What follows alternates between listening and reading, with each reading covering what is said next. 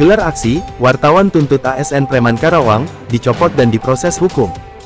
Reportika.co.id Karawang, puluhan wartawan dari berbagai organisasi pers menggelar aksi di halaman kantor pemerintah Kabupaten Karawang. Hal tersebut merupakan buntut dari dugaan penyiksaan, penculikan yang dilakukan oleh oknum ASN Karawang terhadap wartawan Karawang. Dalam aksi tersebut para wartawan menuntut agar pelaku yang sudah menganiaya wartawan Alexa, Junot dan Zainal agar ditindak secara hukum. Kapolres Karawang AKBP Aldi Subartono mengamini apa yang disampaikan oleh para awak media dalam aksi tersebut. Hari ini Kasat Reskrim berangkat ke Polda Jawa Barat gelar perkara dengan Ditkrimum untuk penetapan tersangka.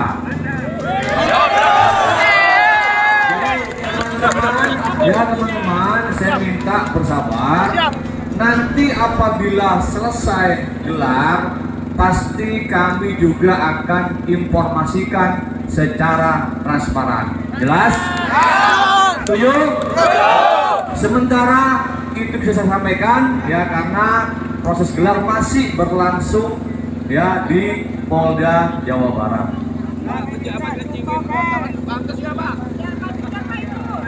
Teman-teman, intinya kami kepolisian ya eh, menangani sesuai dengan prosedur ya. Sekali lagi, nanti selesai gelar perkara, apa pun hasilnya, kami akan menyampaikan secara resmi, secara gamblang dan transparan. Percayakan kepada kami, Polres Karawang, kami akan tegak lurus.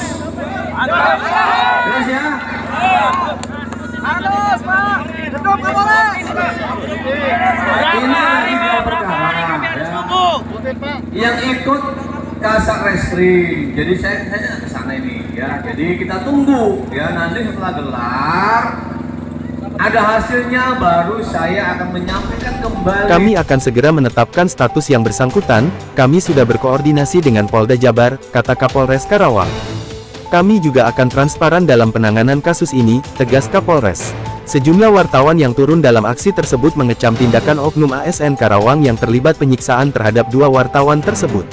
Dalam aksi tersebut organisasi pers yang turut hadir di antaranya.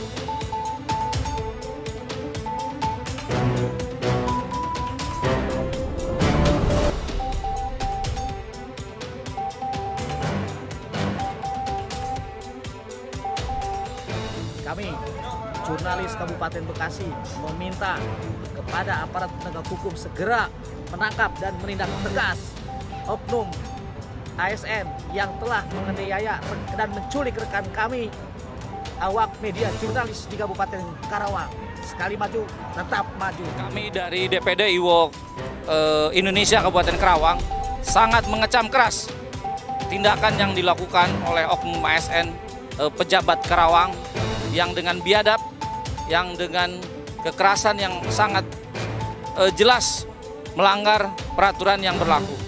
Jadi kami sangat mengecam keras sekali lagi dan kami meng- mengharapkan semua yang terlibat ASN segera dipecat, segera dinonaktifkan saat ini juga sesuai dengan petisi yang kami tanda tangani pada siang hari ini bersa- bersama dengan semua perwakilan para ketua jurnalis, para ketua organisasi di Kabupaten Karawang.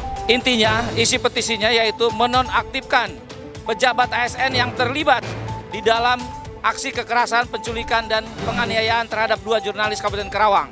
Jadi kalau sampai besok tidak ada tindakan apa pun, tidak menonaktifkan, kami hari Senin atau Selasa akan datang kembali ke Pemda Karawang untuk melakukan aksi yang lebih besar lagi.